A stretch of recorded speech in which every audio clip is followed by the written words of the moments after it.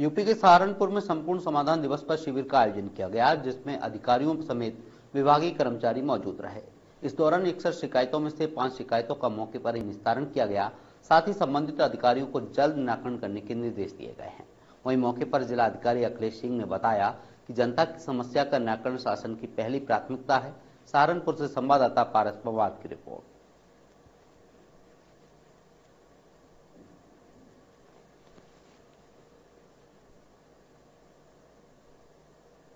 देखिए आज हम हम लोग यहाँ पर तहसील देवबंद में हैं। मेरे साथ कप्तान साहब सीडीओ साहब और सभी जो भी जिला स्तरीय ऑफिसर यहाँ पर हैं। शासन की प्राथमिकता है, है कि जो भी जन शिकायतें हैं उसका गुणवत्तापूर्वक और त्वरित निस्तारण कराया जाए। इस क्रम में आज जो एप्लीकेशंस कितनी है टोटल लगभग?